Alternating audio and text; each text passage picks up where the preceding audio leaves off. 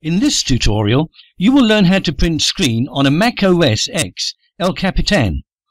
Screen shooting on El Capitan is really handy and easy. As it is always with Macs, you have several options. Option 1.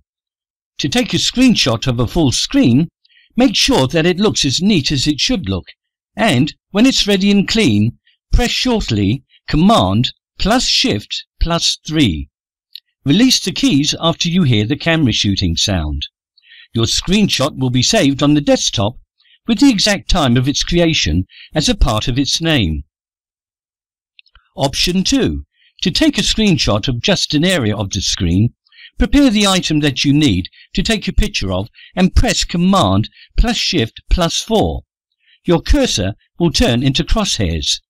Drag the crosshairs to the corner of the area that you want to snap Select the whole area while pressing your trackpad button, and when the selection is ready, release the mouse.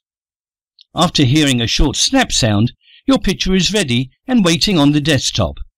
As in the previous case, it will have an exact timing as a part of its name.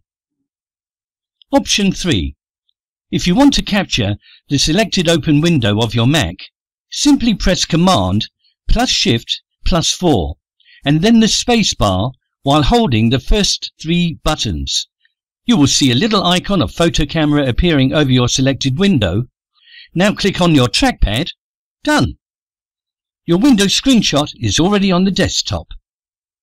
While screen shooting defaults of El Capitan are not different from operating system screen capturing options, there is a whole bunch of advanced screen printing apps compatible with El Capitan, some of which are Snagit or Skitch.